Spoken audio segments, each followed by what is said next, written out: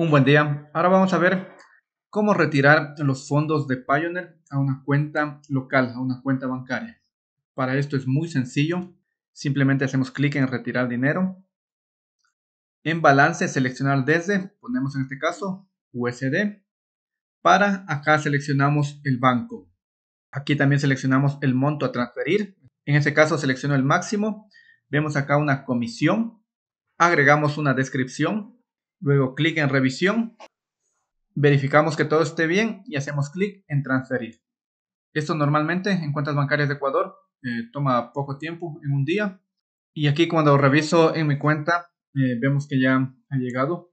Muy bien, si te gustó esto, no olvides suscribirte al canal, dale un me gusta y nos vemos en una próxima oportunidad.